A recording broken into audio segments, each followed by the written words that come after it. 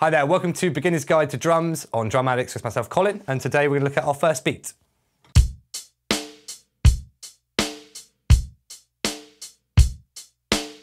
So now let's speed that beat up a little bit once you feel a bit more comfortable.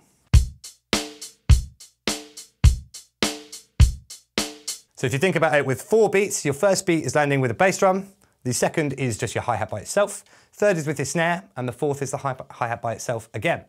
Now, once you feel a bit more comfortable with that, we're going to add an open hi-hat uh, at the end of one full bar loop. And I'll play that nice and slow now.